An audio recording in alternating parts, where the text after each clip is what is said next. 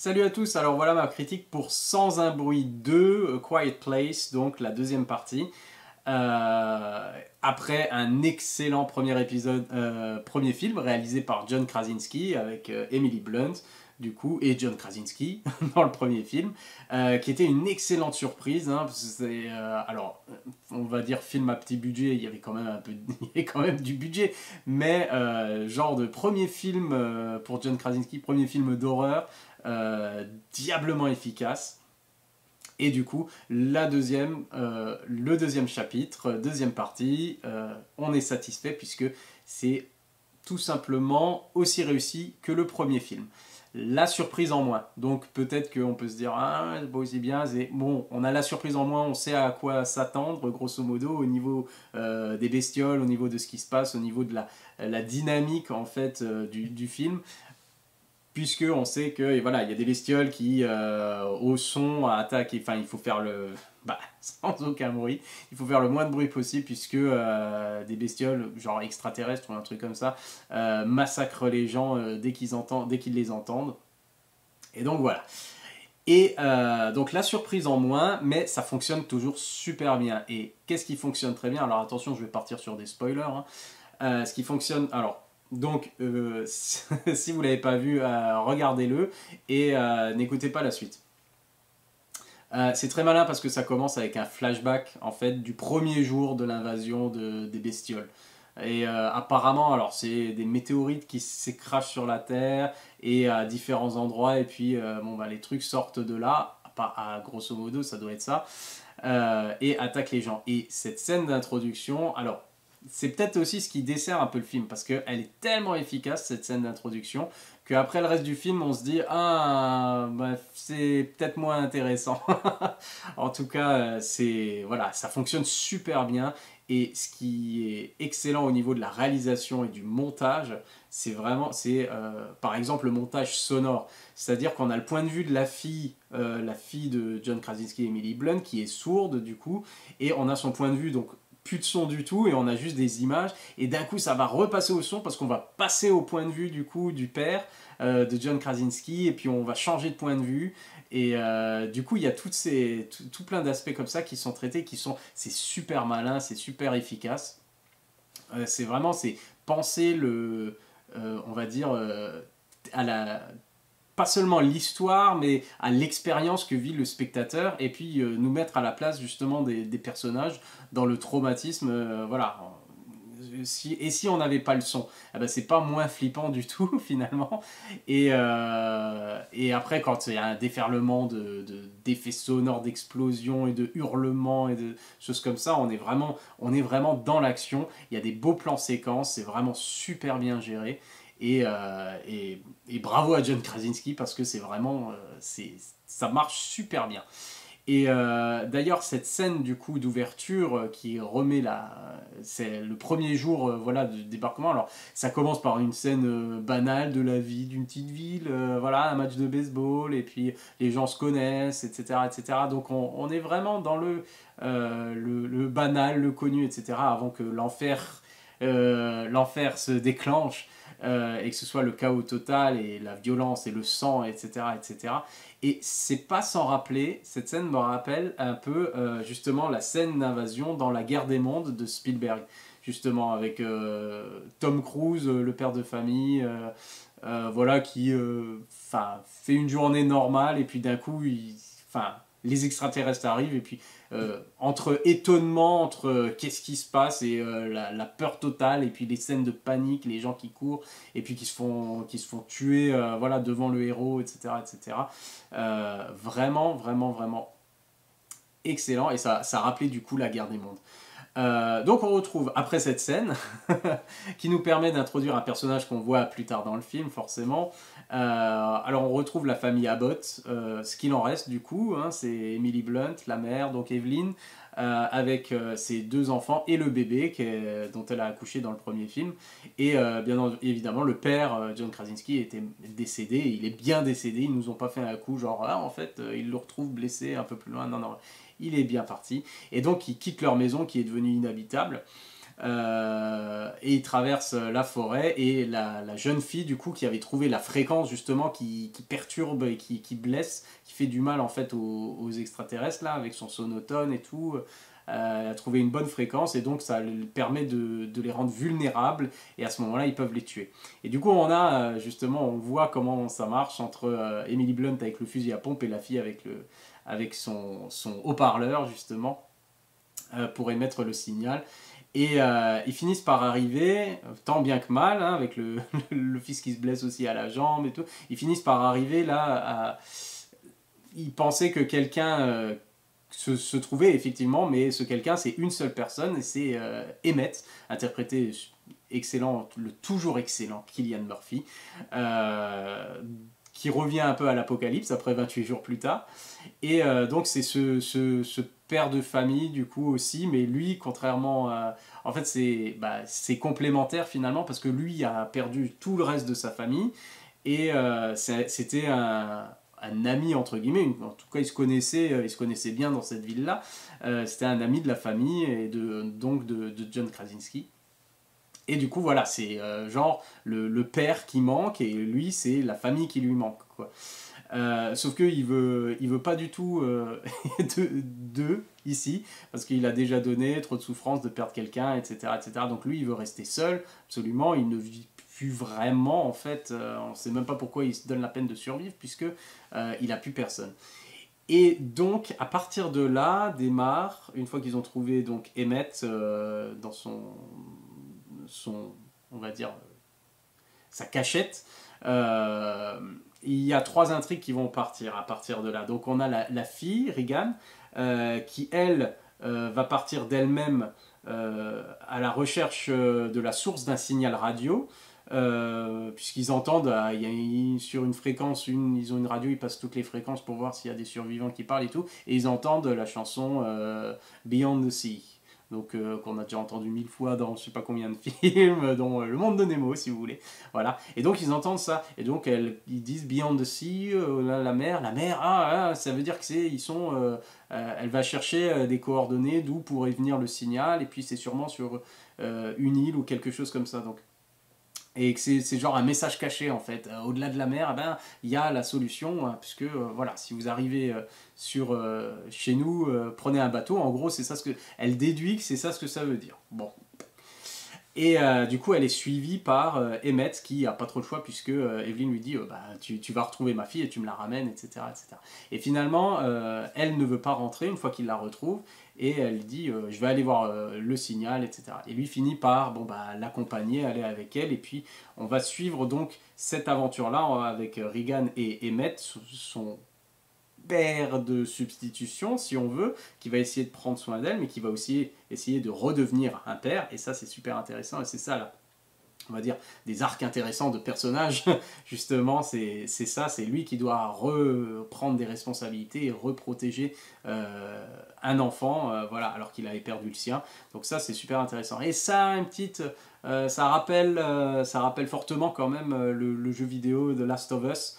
On les voit évoluer, voilà, dans une atmosphère euh, flippante avec bah, euh, de, fin du monde, avec euh, la nature qui a repris ses droits, avec il y a l'herbe partout, etc. Et puis il y a des trucs dégueux en rapport avec les extraterrestres, avec les bestioles, et puis les bestioles qui, peuvent surgir de n'importe où et qui sont sensibles au son. ça fait beaucoup penser à The Last of Us.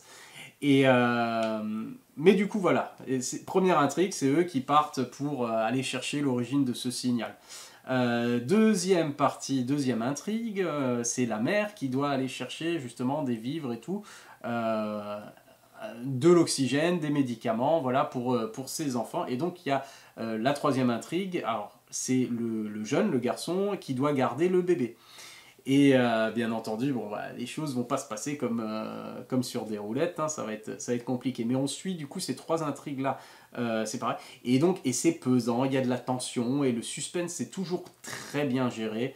Euh, et puis on découvre un univers aussi plus vaste. C'est ça qui est super intéressant avec la quête du coup de, euh, de Regan et accompagné de Emmett du coup qui vont chercher ça. On va voir ce qui se passe un peu au-delà finalement au-delà de leur, euh, maison, la ferme, etc. etc. Qu'est-ce qui se passe au-delà? Il y a d'autres gens, il y a, il y a, encore des survivants, et qu'est-ce qui deviennent ces gens-là? Et donc ça permet de voir que, bon, bah, il y a des gens qui sont devenus complètement, évidemment, évidemment, qui sont devenus complètement sauvages et, et euh, violents, et euh, c'est devenu finalement, c'est la loi du plus fort finalement, qui, qui, qui, vont piquer, voilà, si vous avez quelque chose, on va vous le piquer, on va vous tuer, etc. etc donc euh, qui font tout pour survivre en fait. Et euh, alors c'est pas mal. Et on découvre aussi euh, du coup un... Oh, ça je garde pour après quand on va parler de, de l'île justement. voilà. Et finalement, bon bah c'est réussi, c'est divertissant. Moi c'est ça ce que je voulais dire. C'est une suite qui est réussie et divertissante, qui est bien prenante mais euh, le rythme, le rythme, et ça c'est euh, quand on a vu justement la scène d'ouverture, c'est ce que je dis, elle est tellement bien, elle est tellement rythmée, ça, ça bouge tellement que après on retrouve le rythme de, euh, du premier film, du coup quelque chose d'assez des fois lent, où il va pas se passer grand chose, mais il y a une tension qui est toujours présente, et du coup ça euh, ça peut gêner certaines personnes, ce rythme assez lent. Moi, ça ne me gêne pas, hein. je, passe un très bon moment dans cet univers-là. Je trouve que la tension est quand même assez maintenue parce qu'on ne sait jamais quand euh, quelque chose peut se produire, donc ça, c'est bien géré. Et euh, pour moi, c'est pas du tout un problème. En plus, on a des acteurs qui sont vraiment excellents. Et comme je l'ai dit déjà avant, la réalisation de John Krasinski, elle est au top. Et la manière, justement, le montage, encore une fois, c'est techniquement, c'est super bien réussi aussi, puisque le, passage entre, quand on passe d'un personnage à l'autre, donc d'une intrigue à un autre, quand on est avec Emily Blunt, après on va être avec le, garçon et le bébé, et après on va retrouver Regan et, euh, Emmett, euh, ça permet aussi de, créer, de laisser en suspens des fois un personnage, euh, et de, de donner du rythme, un certain rythme, et ça maintient le suspense et la tension tout au long du film. Et du coup, euh, les péripéties, euh, bah, c'est jamais, on va dire, euh, c'est toujours bien, mené, c'est jamais ennuyeux. Moi, voilà, c'est ça. Ça peut être lent, mais c'est jamais ennuyeux. Et même si les péripéties, des choses qui vont leur arriver à certains, c'est quand même assez prévisible. Euh, notamment, euh, je parle là pour la, scène avec le, le, jeune garçon et le bébé, avec le caisson hermétique et, euh, et la, la, serviette là, ou, le, et le chronomètre. Alors on sait, si on nous montre dès le début que pour se protéger voilà, des bestioles, on, le gars il a un système voilà, pour se mettre dans un caisson, un coffre, un caisson hermétique et fermer le, la porte, mais qui doit mettre un truc pour pas que le loquet il claque et pour pas être enfermé, et qu'une fois qu'il est dans le caisson, il déclenche un chronomètre parce qu'il y a une certaine. ben oui, l'air, euh, elle va pas être éternelle, donc il chronomètre le temps où, au bout d'un moment, il va falloir ouvrir pour prendre de l'air. Du moment où on nous montre ça, on sait, on sait qu'à un moment, il y a des personnages, euh, au moins un personnage ou deux, plusieurs personnages qui vont être enfermés dans le caisson, qu'il va y avoir un problème, ils vont être bloqués et qu'au bout d'un moment, ils vont plus avoir d'air.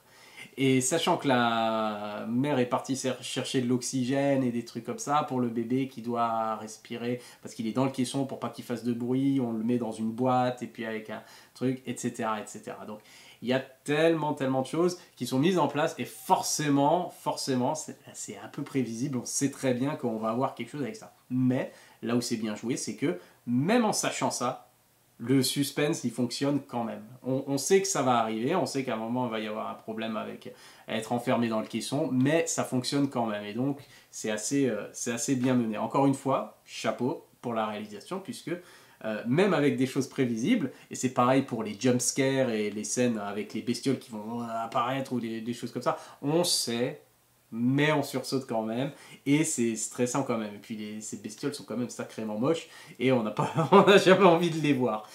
Euh, donc, euh, le suspense fonctionne, il n'y a pas de problème. Et il y a, alors si je dois dire maintenant des petites, euh, des petites choses, en dehors de, euh, c'est un peu prévisible ce qui se passe, euh, c'est qu'il y a, un, une, il y a un, truc un peu incohérent. Et là je parle du coup, on va découvrir maintenant l'île puisque Emmett et Regan vont finalement arriver sur, vont prendre un bateau et arriver sur, sur la fameuse île d'où vient le signal la chanson Beyond the Sea. Et là, ils arrivent et c'est genre, c'est un autre monde finalement, puisque les gens vivent normalement. Euh, cette petite communauté qui vit normalement, font un barbecue, chante le soir, etc. Puisque les bestioles ne passent pas sur l'eau. Et en gros, si on est sur une île et que les bestioles ne sont pas arrivées sur l'île, eh ben on est pépère. Euh, on peut faire tout le bruit qu'on veut et tout va bien. Donc on a ces gens qui sont là et euh, ça fait un peu penser d'ailleurs à ça fait un peu penser à Lost, la Dharma Initiative, les autres. voilà, quand eux ils sont là en train de survivre dans la jungle et tout et en fait il y a un village, il y a des maisons qui sont là. Euh, alors voilà. Donc ça fait un peu penser à ça, et en même temps, on a. Je trouve c'est c'est un peu étrange au début, on n'a pas forcément confiance tout de suite, parce que justement on se dit non mais qu'est-ce qui cache ces gens-là en fait euh, pour être si bien? On a envie d'y croire pour les personnages, ah c'est bon, c'est le paradis et ça va être cool, mais on se dit aussi hmm, peut-être que c'est un peu louche. Alors qu'en fait pas du tout, c'est vraiment des gens sympas. Alors je sais pas, peut-être que ce sera développé dans le, la, la suite, le troisième épisode. Mais en tout cas, euh, jusqu'ici, ça avait l'air d'être des gens sympas, qui n'avaient pas de problème, etc., etc. Mais le truc euh, incohérent, et ça, j'ai pas de, j'ai pas de, pas d'explication euh, logique pour ça. C'est, en fait, ils émettent le signal depuis, un, ils ont un studio genre de radio, euh, ils émettent de là, et c'est un vinyle, c'est un vinyle de Beyond the Sea qui tourne en boucle la, sur une fréquence de la radio, et ils espèrent que les gens l'entendent et comprennent le message et viennent les rejoindre. Et ça, c'est un peu bizarre. c'est un peu bizarre et c'est, pas cohérent du tout. Euh, pourquoi tu fais ça? Pourquoi est-ce que. Euh, en gros, c'est ceux qui, ceux qui méritent, ceux qui comprennent le message caché, ils méritent de venir et d'adhérer ici. Les autres, allez vous faire foutre. Parce que sinon, pourquoi, si tu peux émettre sur une certaine fréquence et en boucle, pourquoi est-ce que, euh, alors que des gens doivent être en train de chercher une fréquence ou d'aide ou quelque chose comme ça, pourquoi est-ce que tu prends pas ton, tu prends pas le micro et tu parles pas? Pourquoi est-ce qu'ils euh, ils disent pas à un moment, euh, oui, euh, venez nous rejoindre, on est à telle ou telle coordonnée, il n'y a pas de bestiole ici, pour trouver un bateau, venez jusqu'ici, il n'y a pas de bestiole, sur une île, il n'y a pas de problème, trouver une île, enfin bref. S'ils veulent vraiment aider les gens et faire venir des gens pour les secourir, pourquoi tu prends pas un micro et tu parles pas? Non, ils mettent en boucle un, vinyle en plus. Alors j'imagine qu'ils doivent avoir un système pour que le vinyle se relance à chaque fois. Enfin, c'est pas vraiment expliqué. Et c'est genre ceux qui comprennent le message ils viendront et eux ils mériteront de survivre. Les autres c'est des cons, laissez-les crever. Euh, c'est un peu, un peu bizarre, c'est pas vraiment expliqué et je trouve ça un peu, un peu étrange. Et, euh, et, du coup, mais l'idée de cette communauté, encore une fois, on découvre un univers un peu plus vaste, puisqu'il y a cette communauté-là. On doit se dire, bah, il y en a d'autres sur des îles ou quelque chose comme ça, donc il doit y avoir pas mal de survivants, et peut-être que ce sera développé dans un prochain film. Ensuite, euh, au niveau des arcs narratifs, comme je l'ai dit, c'est super intéressant au niveau de, de Emmett et de Regan, du coup, puisque euh, l'une est voilà, une fille sans père, l'autre c'est un père sans, sans, enfant, et puis du coup, ils doivent euh, s'apprivoiser tous les deux et euh, lui doit apprendre à faire confiance à une enfant et l'enfant doit euh, aussi apprendre à faire confiance à quelqu'un qui n'est pas son père. Voilà puisque il y a beaucoup de scènes de tension entre les deux etc etc où ils se prennent la tête mais finalement tout ça finit par fonctionner donc, euh, voilà. Ah oui, pour les arcs narratifs, en dehors finalement de Emmett et Regan, justement, et de leur, euh, leur aventure, hein, où on découvre euh, plusieurs, plein de choses, il se passe vraiment plein de choses. Pour le reste, c'est assez. Comment dire C'est basé vraiment sur l'action. C'est pas, il n'y a pas trop de réflexion, de choses comme ça, puisque c'est le jeune, à la limite, qui reste avec le bébé euh, le jeune qui est pas capable de faire grand chose finalement, à part euh, crier, souffrir euh, et, pleurer, être stressé. finalement, il doit apprendre, il doit gérer, il doit devenir le grand frère et s'occuper du bébé faire survivre le bébé. à la limite, voilà, bon. Et par contre, pour Emily Blunt, elle, bon, bah, il n'y a pas grand chose. Il n'y a pas grand chose, puisque elle dit à Emmett, va chercher la fille va chercher ma fille, ramène-la moi et euh, je vais faire des courses. et puis euh, voilà, elle doit faire attention. Mais enfin voilà, ça c'est moins, beaucoup moins intéressant ces, ces intrigues-là sont moins intéressantes en termes de développement de personnages. Il n'y en a presque pas finalement, à part bon, voilà, le grand frère qui trouve du courage, qui n'a pas le choix vraiment. Mais c'est plus intéressant du coup, Emmett et Regan, c'est l'intrigue principale et c'est ça la plus intéressante. Les autres passent un peu, euh, voilà, c'est pas ennuyeux, mais c'est pas non plus, c'est pas des plus euh, intéressants au niveau du développement des personnages. Et donc, euh, en conclusion, c'est un deuxième chapitre d'une trilogie, j'ai envie de dire, parce qu'on sait qu'il y a le troisième qui arrive. Est-ce qu'ils en feront plus? Ils peuvent, c'est tellement vaste, ils peuvent se, euh, faire euh, quelque chose qui se passe euh, dans une autre ville avec d'autres personnages qui est absolument pas lié, donc ils peuvent aller loin avec, avec cette franchise.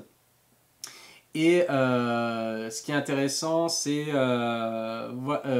que dans ce, ce film-là, le petit plus, ça va être les personnages justement qui sont beaucoup plus proactifs ils subissent moins, ils prennent des décisions et euh, ils tuent du coup, euh, alors que euh, dans le premier film c'était genre de tuer une bestiole, c'était oh c'était le, truc à la fin, genre ah ils arrivent à en tuer une grâce à la fréquence et tout. Là voilà, ils en tuent quand même davantage et on se dit bon bah il y, a quand même moyen de, de, faire des, de faire des choses ici et de faire avancer à la fois les personnages, à la fois l'intrigue et ce qui se passe. donc c'est deuxième chapitre ça se conclut en disant grosso modo, bon bah à suivre. Il n'y a pas écrit à suivre, mais c'est à peu près, c'est à peu près ça. On se doute bien que l'histoire n'est pas terminée. Et d'ailleurs, on sait que le troisième épisode est prévu. Mais cette fois, John Krasinski va passer la main à un autre réalisateur. Euh, pour le troisième film, c'est donc Jeff Nichols que j'aime beaucoup, euh, puisqu'il a réalisé euh, pratiquement que des très bons films, et justement, ça fait beaucoup penser c'est des films plutôt indépendants, à petit budget, très bien gérés.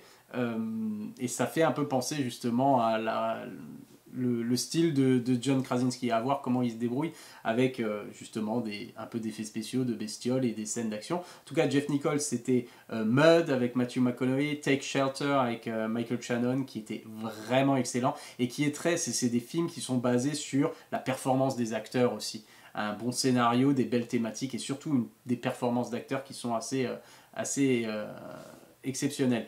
Euh, juste une chose avec Jeff Nichols, le réalisateur du coup de la de Sans un bruit numéro 3 qui va venir, c'est que j'ai été déçu par Midnight Special, son film. avec un peu plus de budget justement et des effets spéciaux et trucs. J'étais un peu déçu par ça, j'étais pas le seul d'ailleurs. Donc on espère que, euh, bon, j'imagine que c'est John Krasinski qui continue de participer à l'histoire et, euh, voir ce que Jeff Nichols du coup ben, va écrire et réaliser en collaboration avec John Krasinski. Ça peut être pas mal du tout. Si c'est dans la veine des deux premiers films, il n'y a pas de quoi s'en faire. Je suis sûr que ça va être génial. En tout cas, c'est une bonne. Euh, il confirme, John Krasinski confirme voilà son talent en tant que réalisateur et on espère voir la suite, on espère que la suite sera du même niveau que les deux premiers épisodes. Voilà. Donc, euh, n'hésitez pas, et forcément, euh, sans aucun bruit 2, du coup, profitez-en, s'il est dans un cinéma près de chez vous, allez le voir au cinéma, ça mérite d'être vu sur grand écran avec un, son spatial, et il euh, n'y a que ça de vrai, profitez-en, s'il n'y a pas énormément de films qui sont justement immersifs et qui valent le coup vraiment d'être vus sur grand écran. Celui-là en fait partie, donc profitez-en. Allez, on se voit la prochaine fois. Salut